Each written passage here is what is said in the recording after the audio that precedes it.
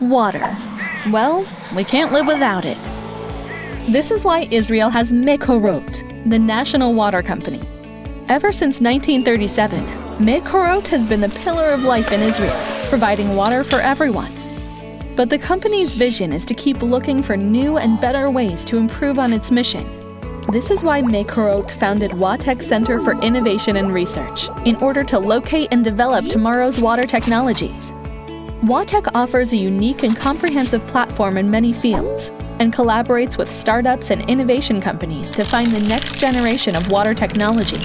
In addition, WaTech manages, supports, and conducts more than 40 applied research tests a year, together with leading universities, R&D centers, and companies from Israel and globally. The products of these research collaborations are showcased to Mekorot's employees, its partners, and guests at WaTech's annual research conferences. But the center not only collaborates locally, but globally as well. With research partners in the United States, Canada, and the European Union, the center is responsible for identification, patenting, and commercialization of Mekorot innovations, which will contribute to Mekorot's economic and professional assets.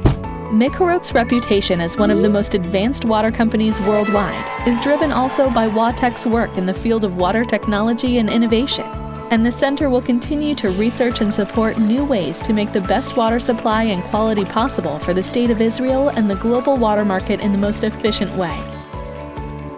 We invite you to contact us to learn more about WaTech's work and collaboration opportunities.